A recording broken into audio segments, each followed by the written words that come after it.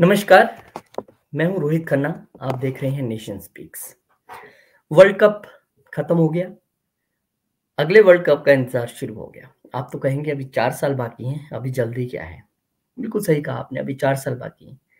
लेकिन फिर भी आपको कुछ जानकारी दे देते हैं कि 2027 का वर्ल्ड कप कहाँ होगा, कौन सी टीमें भाग लेंगी, किस तरह से टूर्नामेंट पूरा जाने वाला है। तो ये वर्ल्ड कप का फीवर पूरा बना हुआ है तो फिर हमने सोचा क्यों ना आपको ये खबर दिखा ही दें एक एक करके आपको जानकारी देते हैं।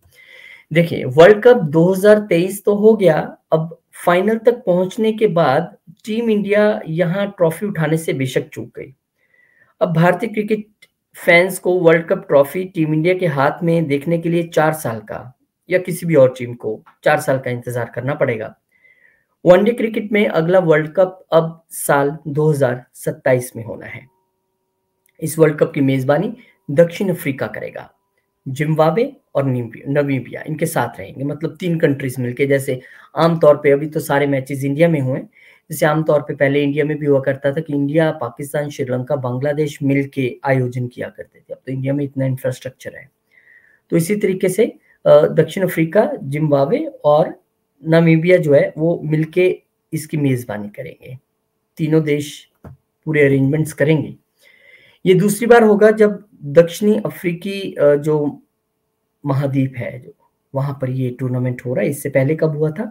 2003 में हुआ था। लेकिन तब भी अफ्रीकी महाद्वीप पे ये जो टूर्नामेंट हुआ था, ये अकेले नहीं कराया था दक्षिण अफ्रीका ने।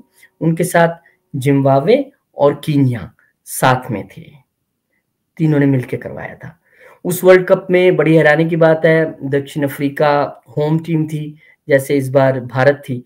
और लगता है ये होम टीम जो है वो सबसे आगे तक जाएगी। उम्मीद भी होती है क्योंकि दर्शकों का आपको उस तरह से सपोर्ट भी मिलता है। लेकिन वहाँ दक्षिण अफ्रीका एक बार फिर अनलकी साबित हुई और ग्रुप स्टेज में ही बाहर हो गई।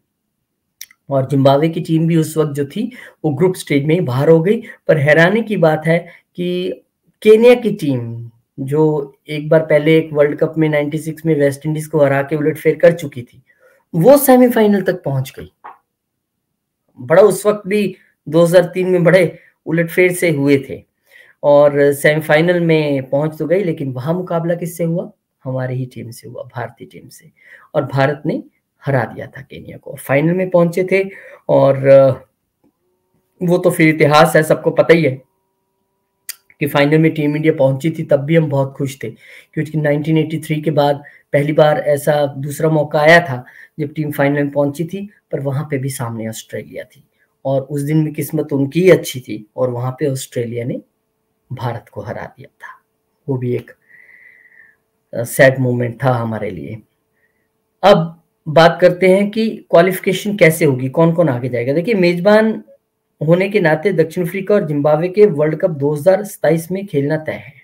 ये दोनों टीमें मेजबान हैं तो डेफिनेटली इनको तो खेलना ही है। लेकिन जो नमीबिया है, उनके साथ ऐसा नहीं है। उनको अपनी जगह अगले कुछ सालों में अपने प्रदर्शन के आधार पर जो क्वालिफायर्स मुकाबले वगैरह होते हैं ना, उसके आधार पर पक्की करनी होगी। नमीबिया के वर्ल्ड कप एंट्री का फॉर्मूला वैसा ही रहेगा जैसे कि अन्य टीमों के लिए रहने वाला है। अब कहानी ये कि अगले वर्ल्ड कप में चौदह टीमें हिस्से लेंगी पहले तो ये समझ लीजिए, टीमें ज़्यादा होंगी, चौदह टीमें हिस्सा लेंगी इनमें से दो टीमें जो हैं, वो पहले से तय है, जो हमने आपको बता दी, साउथ अफ्रीका और जिम्बाब्वे। इसके बाद वर्ल्ड कप से पहले तक, एक समय सीमा तक वनडे रैंकिंग देखी जाती है। और जैसे आजकल भारत टॉप पे चल रही है पता नहीं ऑस्ट्रेलिया हो गई हो, क्योंकि लेटेस्ट जारी तो नहीं हुई है। तो वहाँ पर जो पहली आठ टीमें होंगी, आईसीसी रैंकिंग में, वो भी अंदर चली गई। कितनी हो गई आठ ये और दो मेजबान पहले से तय, दस टीमें। ये तय है, ये खेलेंगे खेलेंगे। उसके अलावा, बाकी चार टीमें जो क्वालिफायर्स मुकाबले होते हैं, जिसमें इस बार अफ़गानिस्तान और ये सब आए थे सफ़र तय करके, वो वहाँ पर होंगे क्वालिफायर्स मुकाबले और उन सभी क्वालिफायर्स मुकाबलों में जो टॉप चार रहेंगे, वो चार टीमें आ जाएँगी। तो दस और चार, चौदह। चौदह टीमें होने वाली हैं। अब फॉर्मेट क्या रहेगा? क्या ऐसे ही सबके सब मैचेस होंगे? एक ही जगह सबको रख दिया जाएगा और सब सबके साथ खेलेंगे? नहीं ऐसा इस बार नहीं है। 2027 में क्योंकि टीमें ज़्यादा हैं इसलिए सात सात टीमों के दो ग्रुप बना दिए जाएँगे। जैसे पहले भी बहुत बार हो चुका है ग्रुप ए और ग्रुप बी। यहाँ राउंड रॉबिन स्टेज के बाद आ, मतलब जैसे ग्रुप ए की सभी टीमें एक दूसरे से खेलेंगी ग्रुप बी की सभी टीमें एक दूसरे से खेलेंगी। जो ग्रुप ए में तीन है वो ले लो आप ग्रुप में जो ती, जो तीन आई है वो ले लो आप वो अगले स्टेज में चले गए। यानी कि दूसरे राउंड में वो पहुँच जाएँगे। छह टीमें होगी यहाँ पर। अब एक ग्रुप की टीम दूसरे ग्रुप की सभी टीमों से एक एक मैच खेलेगी। मान लीजिए एक ग्रुप में एक टीम है भारत और दूसरे ग्रुप में अन्य तीन टीमें वो सबके साथ खेलेगी। ऐसे ही दूसरे ग्रुप की वो जो टीम है, वो भारत वाले ग्रुप की सभी के साथ खेलेगी। तो ये मैचेस हो गए। इस तरह से इस राउंड रॉबिन में तीन तीन मैच कुल खेले जाएँगे। हर टीम तीन मैच खेलेगी। और उसके बाद फिर आप ये देखेंगे कि किस तरीके से रैंकिंग रहती है। इस स्टेज में दो टीमें एलिमिनेट होंगी ही होंगी। हर, दोनों तरफ़ से। और फिर सेमीफाइनल मुकाबला होगा, जो दो टॉप टीमें होंगी चार टॉप टीमें होंगी, उनमें सेमीफाइनल मुकाबला हो जाएगा। ठीक है? अब दो टीमें एलिमिनेट हो गई, चार बची, चारों के बीच सेमीफाइनल हो गया, फिर तो फॉर्मेट वही आगे कैरी फॉरवर्ड हो जाएगा, जो सेमीफाइनल में जीतेगा, वो फाइनल में जाएगा। अब, अभी से भविष्यवाणी कर दे कौन जाएगा, ये तो ठीक नहीं है, लेकिन हमें ऐसा लगता है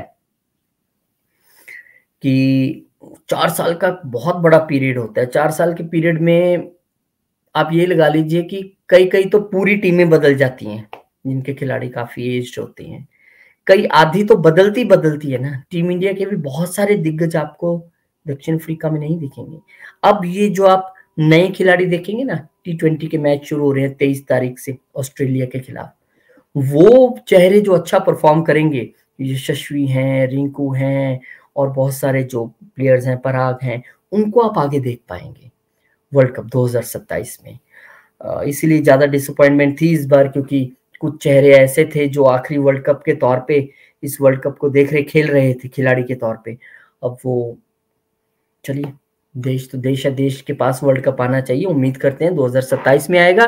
तो हमने बताया कि अगली बार वर्ल्ड कप कहाँ होना है, कैसे होना है, कौन होगा अंदर, कौन बाहर होगा, वो सारी स्थितियाँ हमने आपको बता दी। बहुत बहुत शुक्रिया, धन्यवाद।